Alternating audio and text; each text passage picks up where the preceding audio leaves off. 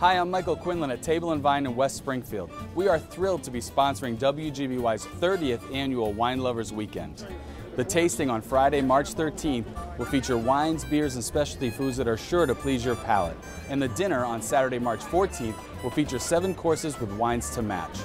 Tickets are available at wgby.org/wine and at all Table and Vine locations: Greenfield, Northampton, and Wilbraham, and of course here in our flagship store in West Springfield. See you at the Marriott.